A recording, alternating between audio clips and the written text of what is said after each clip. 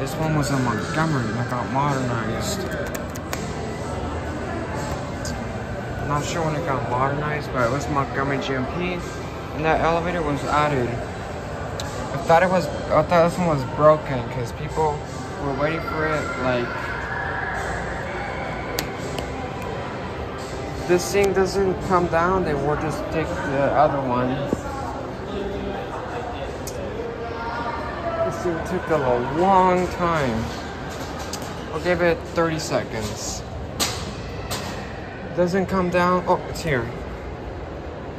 It's right here. Oh. Does it smell bad? There's a switch here over there, but.